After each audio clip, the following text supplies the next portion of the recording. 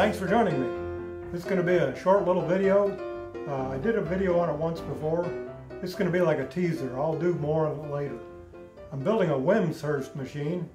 Uh, I'll put a link to some information on Wimshurst machines in the description area. Uh, it's an electrostatic generator. I did this today. Got a little template where I laid out all these copper foil sectors. But most of this video is going to be about fuming. We're going to take this white oak right there.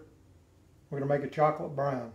It's going to be super brown, dark brown. Anyway, let's get started. Mello, you want to go fume some oak? Huh?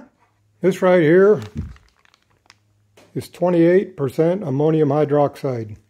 It'll take your head off.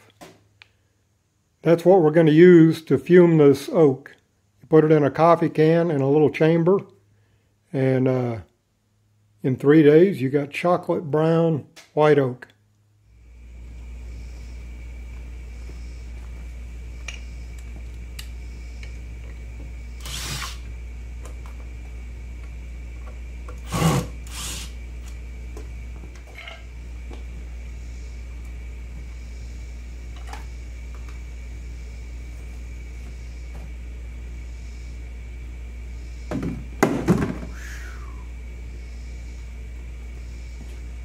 Ammonia.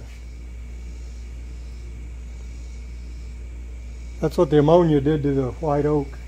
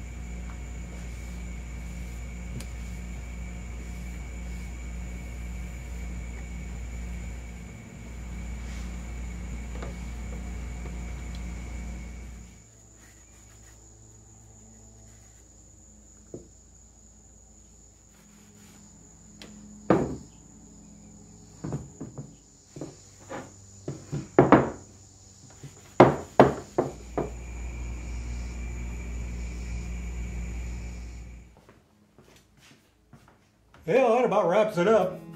Uh, that really made a difference, didn't it? Always surprises me. Anyway, thanks for joining me, and be sure and subscribe and ring that bell.